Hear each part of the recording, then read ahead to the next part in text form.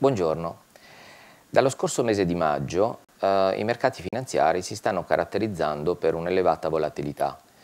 Questa volatilità è sostanzialmente dovuta a due fattori. Il primo ha una gran massa di liquidità che esiste sui mercati finanziari che è caratterizzata uh, da quello che è l'azione del quantitative easing cosiddetto della Federal Reserve, che come sapete stampa uh, 85 miliardi di dollari al mese, così come dalla Bank of Japan che stampa uh, un quantitativo doppio.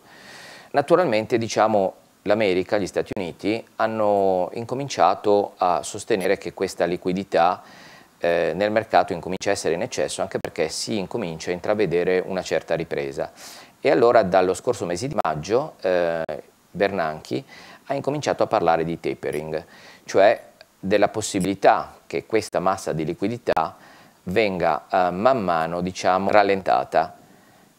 Eh, questo ha fatto sì che i mercati incominciassero a essere nervosi, naturalmente, e eh, soprattutto eh, si sono verificati ehm, dei disallineamenti abbastanza importanti eh, sulle varie asset class. Nello specifico i mercati emergenti in valute locali hanno subito dei grandi deflussi, soprattutto per causa dei fondi comuni americani, che eh, hanno riportato una gran massa di liquidità verso gli Stati Uniti.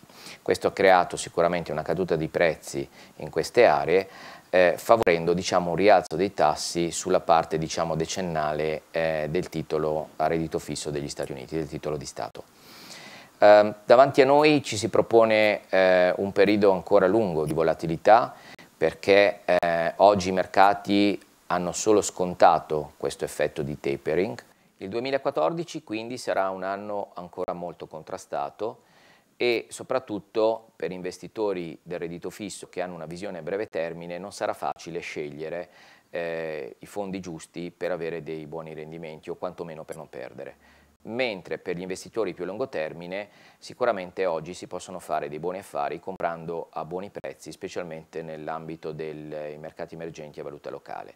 Tornando indietro nel 2013 possiamo vedere dalla slide eh, tutte le volte che è stato preso in considerazione l'argomento tapering, eh, quindi a fine maggio, a metà agosto e a fine novembre, i mercati emergenti e valute locali sono eh, crollati, quindi hanno avuto delle perdite consistenti, mentre se guardate la linea blu eh, c'è una, una, combinazione di prodotti che stiamo proponendo noi di Raiffeisen in questo momento che ha invece decretato un rendimento positivo o quantomeno una non perdita.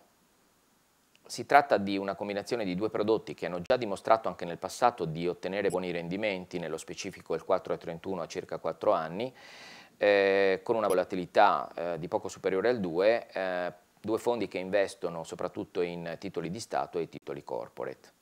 Per quanto riguarda il futuro, invece, ci sono molti investitori nel mercato che ritengono che una volta esaurita la fase di tapering, i mercati avranno un rialzo di tassi di interesse.